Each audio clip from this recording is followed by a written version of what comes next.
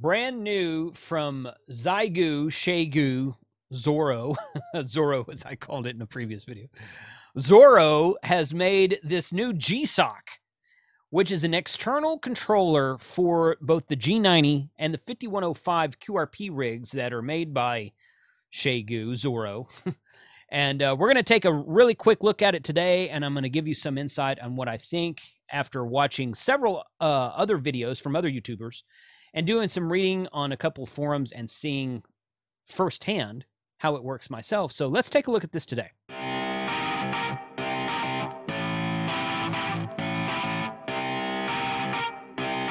Shut up and sit down.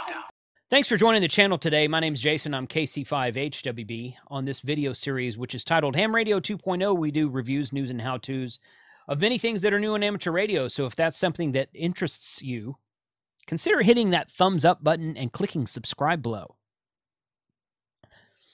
Haven't done that in a while. So, okay. Uh, so the Shegu Zygu Zorro thingamajig, the GSOC, has been. You know, this was announced a while ago. It was announced. I don't even remember when it was. I think it was. I think I could look it up right now. I didn't look it up yet. I'm like, well, okay. It was announced several months ago. I'm pretty sure it was 2019. Uh, but however long it was between now and today, this is November of 2020, between whenever it was kind of dangled, oh, GSOC, and they showed us this mock up of it. They didn't even really tell us what it was. But between now and then, they had plenty of time to get this thing right and working and updated. And quite frankly, I don't think it's ready yet. Um, I think it was still, I think it still needs some work and it does not do everything that it claims it will do. For instance, Wi-Fi. It's supposed to have Wi-Fi and Bluetooth, and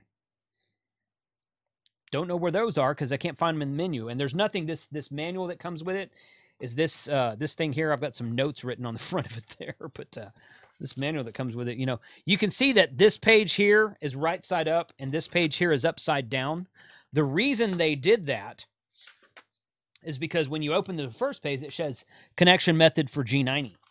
If you go the other direction, it says connection method for 5105.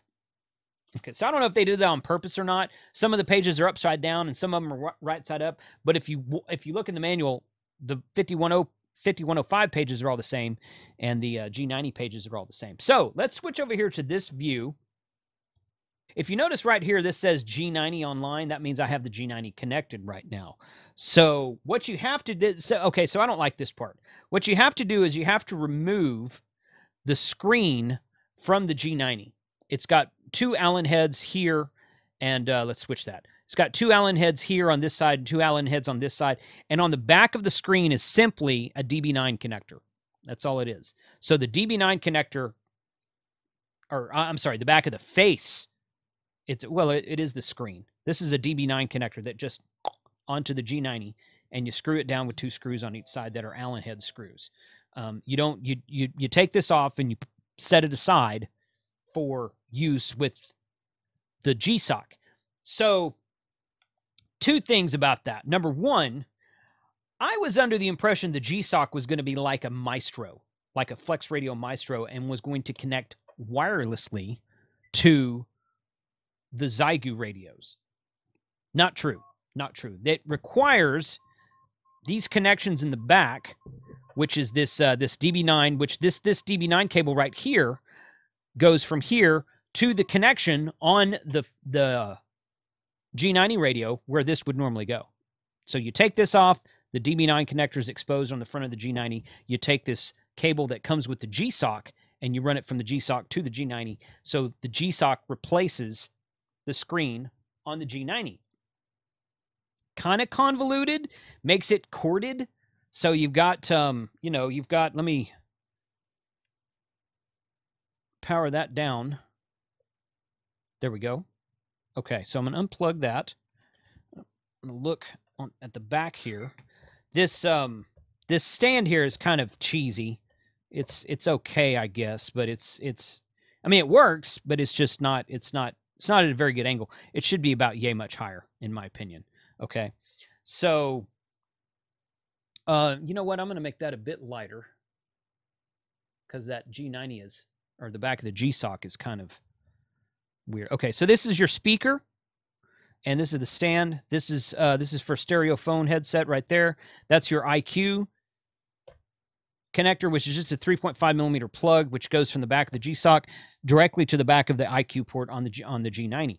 Uh, this will work on the the 5105 also. And then this is your DB9 connector. So the GSOC comes with these two cables right here, and it comes with um, this stand already installed.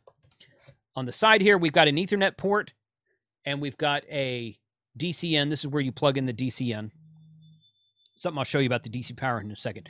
The Ethernet port is simply for a microphone. It will not connect the GSOC to the internet. So the GSOC is supposed to have Wi-Fi, and and I can't find it, and the the um, Ethernet port is just for a microphone. Uh, there's two USB drives that you or uh, USB drives, USB connections that you can use to connect a, a, keyboard and mouse and do some cool things on the thing. Uh, but if you if you connect the um, but I can't find anything else that the, that the that the USB actually does right now. Firmware updates might be possible and something that they're going to expand on later on. One thing I I did definitely want to show because I could not find this anywhere, and I had to. Um, I had to kind of guess, but I also asked um, a couple other people about it too. Um, this power cable that comes with the GSOC is tangled up right now. All right, so one end of it is is a modular, is a round modular connector. I can probably, actually, pr probably better to show you there. Okay, one end of it's a round modular connector like that. The other end is bare wires. Now, this bare wire right here, this is a bare wire, and this is a bare wire at the end with a with a white insulation around it. Now, logically speaking, you should understand that the white connect the the side of the wire with the white sheathing is the positive side. But I was scared to death to hook this up wrong, okay? Because there's no fuse in this cable. Okay, there is. This is what I assume is a ferrite bead. This is a ferrite. This looks like a ferrite, doesn't it's you can't take it apart, not very easily anyway. This is this is a ferrite choke or bead, and there's no fuse in this cable. So I was scared to death to hook this thing up backwards and fry my GSOC, which again I paid for. Um, did I say that up front? I don't remember if I did or not. So Radioddity has sent me free radios to review in the past, and when this was announced, I asked them if I could get one, they said, "Yeah, sure, sure. Let us let us get closer to the to the release date. We don't know what the price is going to be." When they figure out what the price is, they told me that they could give me a discount, but they couldn't send me one for free. And I'm like, "That's okay. That's okay. They don't owe me anything. They don't owe me anything at all. They've sent me free radios in the past to review. I've always done a fair review on them and and and tell you what I think. Um, this is going to be a fair review on the GSOC as well. So this is definitely the white sheathing part of the cable is definitely the positive part of the cable and the one you want to pay attention to. Okay, so that's just that's I couldn't it's it's not in the manual, it's not on their website, and the videos I've watched from other YouTubers, nobody ever says it. So I wasn't real sure, and the last thing I wanted to do was fry this dadgum thing. So just for clarification, that is actually how you hook it up. All right. Now, when I hit that just now, you can see it boot up. It showed me it uh, it powered on the uh the the radio also the G90 uh, so so when I hit the the power button on the GSOC it powered on both the G90 and the GSOC. So Zorro interfacing is working as it seems. All right so there we go. Now this is the uh obviously I'm gonna get my head out of the way here this is the interface here. You've got, it is a touchscreen. So you've got that little mouse right there. And you can't, and I, and like I said, you can hook a mouse up to um, the one of the side USB ports and you can mouse around and click on stuff. But it's touchscreen also. So you can go like that and I can change bands. This is reminiscent of like a either a um, 7300 or Flex Radio or something like that. One of the things that the I don't know why that's grayed out right now. I'd have to read on that. So we hit this right here. We can change bands five meters or five megahertz rather. That's fun. 14 megahertz. It's done in megahertz, not meters. So hit this button right here and it goes away. If you've got two VFOs, VFOB and VFOA, like that, you can change modes. All that there. It adds um, narrow FM to the the G90 doesn't have FM by default. So it'll add that to the G90. And you can see it says G90 online right there. If I unplug the G90 real quick, there we go. There we go. Now you see the, the screen all kind of coming together like that. And it's lost the waterfall and it says offline right there. And then I'll go ahead and plug the G90 back in.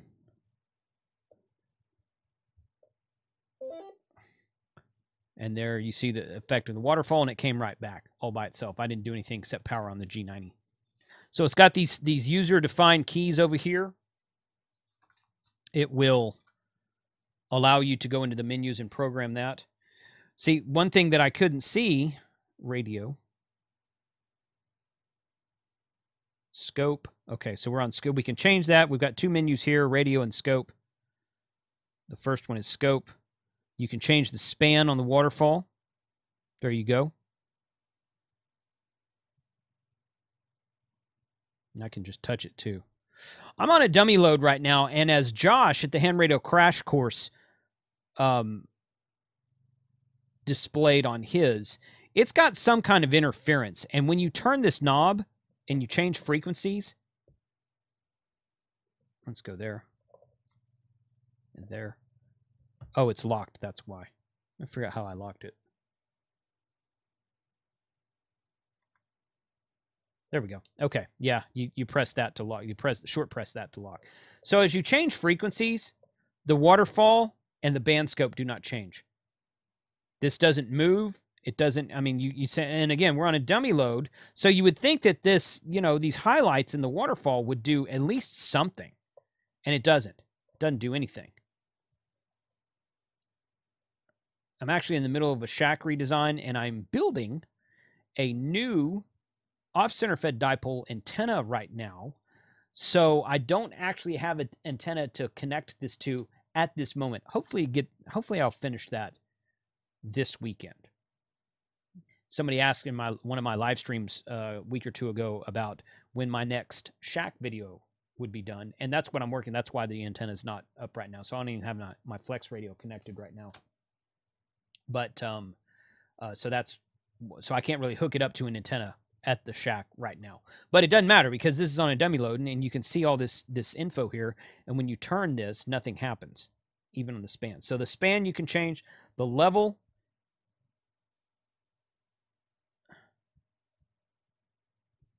That doesn't seem to do anything.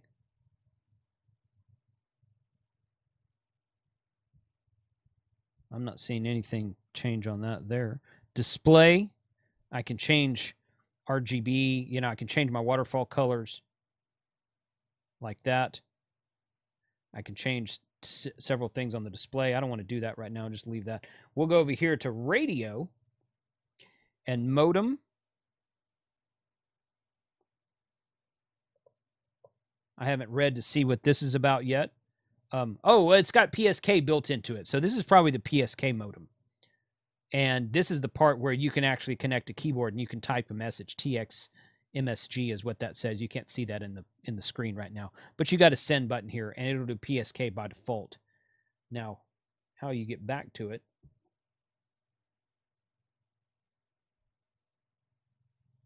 I don't know.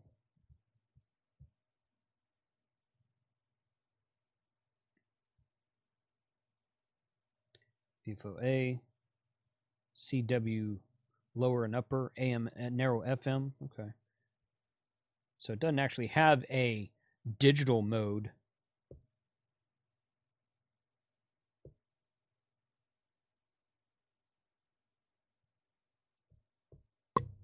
Okay.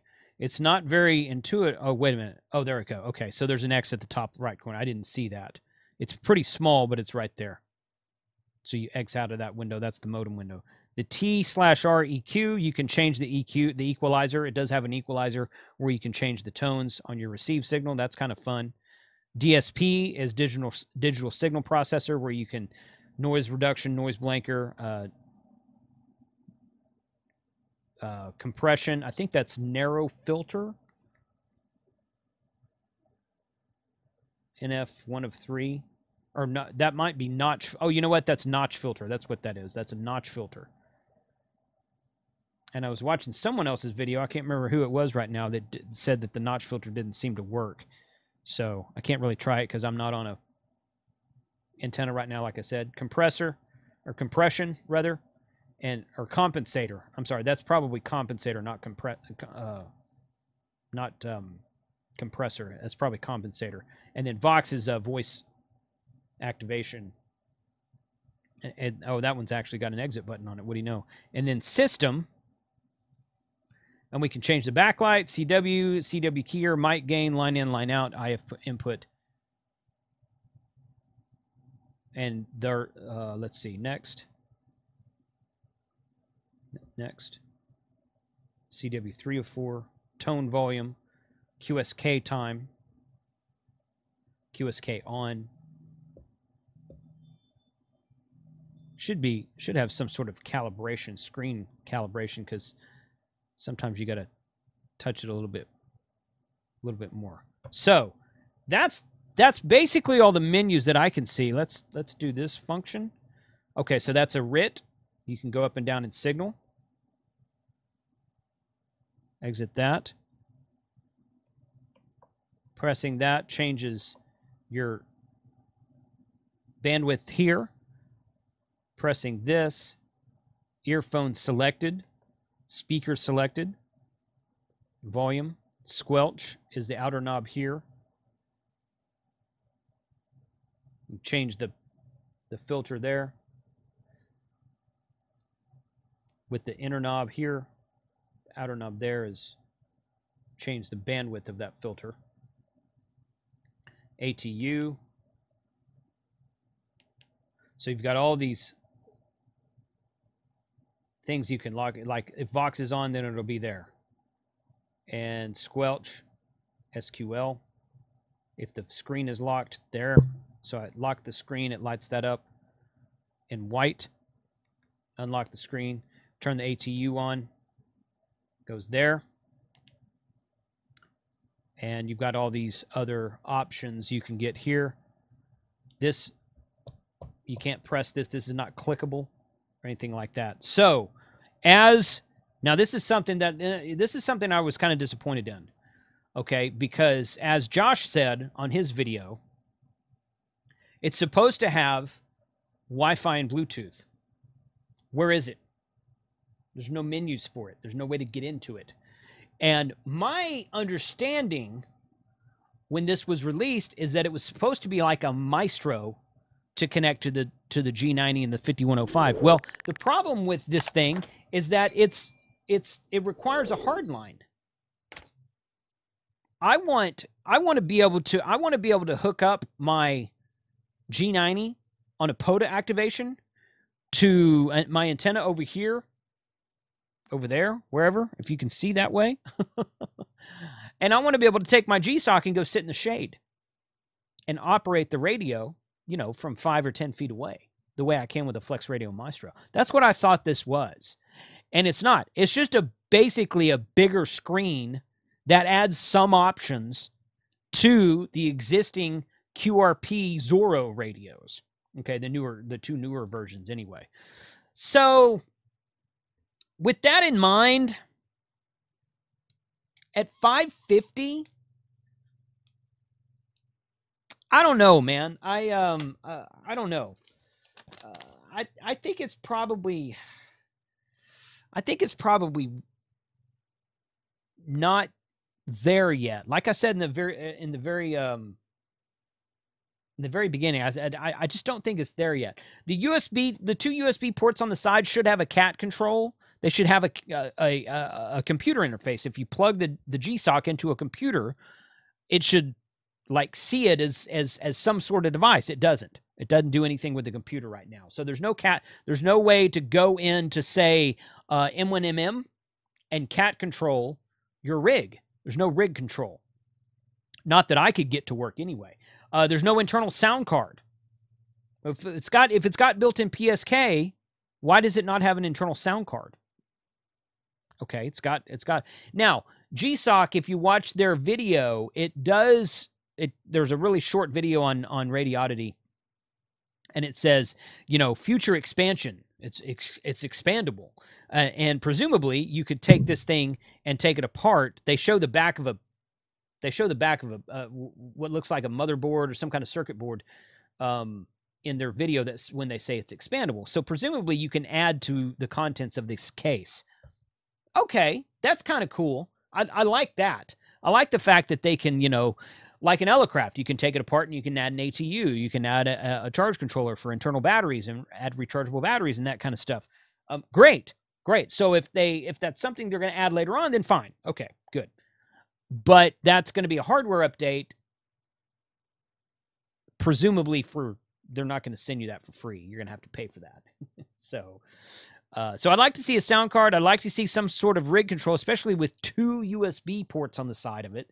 Why would it not have? Why would I need to plug a keyboard and mouse into my GSOC just to do PSK if I still have to have a keyboard over here to log my contacts into N1MM? I mean, you know. so, uh, yeah, weird. And you know, you can interface this with the CE19 device, which will interface into your computer, and you can do WSJTX, FT8, FT4, and this kind of stuff with the G90 without even without taking the GSOC out of the mix completely. You can do that with the G90 and the 5105 right now. So if I'm if I've already got all that set up and I want to add the GSOC to the mix, I don't. It, it's not going to give me anything. I mean, it's going to give me a bigger display and a waterfall that doesn't seem to do anything, and a tuning knob that doesn't seem to change the band scope when I turn the knob. Now, that part can probably be fixed in firmware. A couple of the other guys who've reviewed this have said the same thing, and it's probably a firmware update. Okay, that's cool. Um, I don't know. If this thing was 150 bucks, I'd say go grab one this is really cool. You can add a big screen to it. You can add some different controls to it. Uh, you know, it's expandable. Awesome. For 550? I don't know, man. I don't know. I don't I, I don't like I said, I don't think it's there yet. I don't regret buying it. I want to see how to update firmware on it and uh, how what kind of changes will be made to it and what kind of features will be added to it. But it's not there yet. So that's my opinion. Um, not to sound uh, discouraging or anything, but with the price point we're looking at, and with um, the fact that this is not a radio by itself, it's simply a screen to add to an existing radio, the G90 or the the X5105 from Zorro. And uh, uh, like like the Flex Maestro is not a radio by itself. It's just a it's just a external digital display for control for rig control, and and it offers a lot and it offers many more items than than this. Now it's about twice the price of this, but it's the quality is like ten times what this is uh, as far as a Flex Maestro goes. And this is a this is quite a large unit. Also, let me see if I can move the microphone here. Um, it's deceivingly large. Here's the screen of the G90. Now, when I did my video a while back about comparing the um, when I did my video a while back about comparing the the weights on the uh, 70 uh, the IC 705 and the 5105 and the G90 and the KX3, I mentioned that the G90 had the smallest screen out of all of those, which of course is true. So this eliminates that problem but then you're adding a $550 item to an existing 425 to 450 dollar 20 watt radio and now you're at like about a thousand dollars for a robust not quite as robust as what they originally said 20 watt rig when you could just